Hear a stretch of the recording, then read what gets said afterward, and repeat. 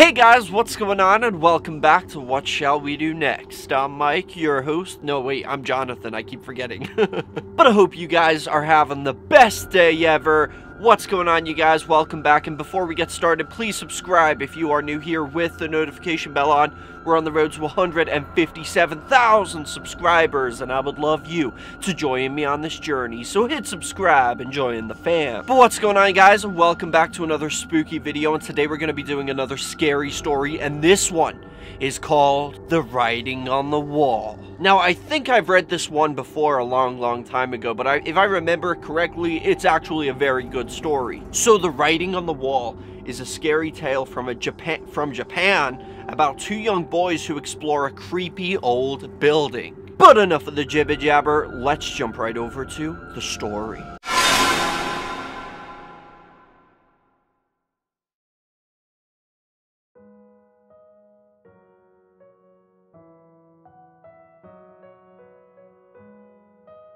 The writing on the wall. When I was younger, there was a ruined building at the bottom of our street. All of the kids in the area kept well away from it, because the rumor was that it was haunted. The concrete walls of the old two story building were cracked and crumbling. The windows were broken and shards of glass lay all over the floor inside. One evening, as a test of courage, my best friend and I decided to explore the creepy old place. We climbed in through a window at the back of the building. The whole place was dirty, and there was a layer of mud on the wooden floor. As we dusted off ourselves, we looked up and were shocked to see that someone had written the words, I am dead, on the wall near the ceiling. Probably just some teenagers trying to scare kids, I said. Yeah, probably, replied my friend nervously. We explored more of the rooms on the ground floor. In a room that appeared to have once been a kitchen of sorts, we found more writing on the wall. It read, I am in a room upstairs. We walked up the creaking stairs to the second floor. I led the way and my friend followed close behind. I wasn't scared, but he was beginning to get a little jittery. When we came to the top of the stairs, we turned left and walked cautiously down the narrow hallway. At the end of the hallway was a closed door with some more ominous writing on it. You will find me in this room. By now, my friend was shaking with fear. I was quite creeped out too but I didn't want to show it. He told me he didn't want to go any further, but I insisted, telling him there was nothing to be afraid of. I turned the handle and the door creaked open. We stepped inside the room and found it empty. There were two closed doors on either side. There was more creepy writing on the wall. It read, My head is on the left, and my body is on the right. As soon as my friend saw this, he completely lost his nerve. He gave a yelp and turned around to run away. I caught hold of his arm, but he shook me off and fled through the open door. I heard his footsteps disappearing off down the hallway. I held my ground. I was determined to be brave and overcome my fear. Mustering all my courage, I opened the door on the right and walked inside.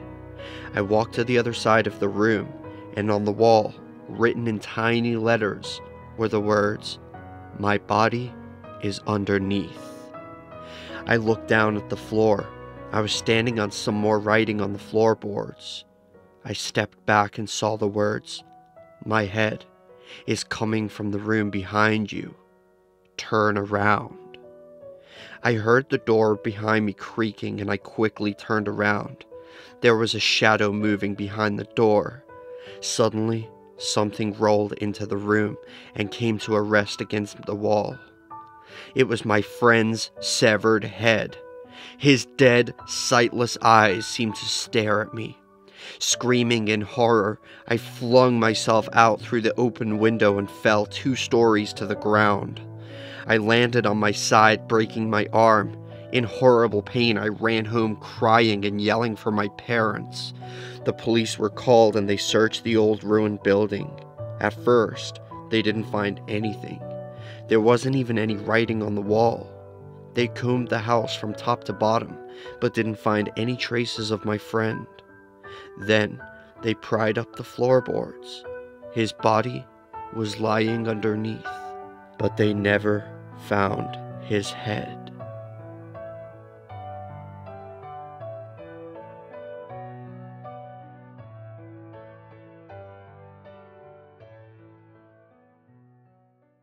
And that is the end of that. So I hope you guys enjoyed the story. Personally, I have read this one before. I do remember the head rolling and stuff like that.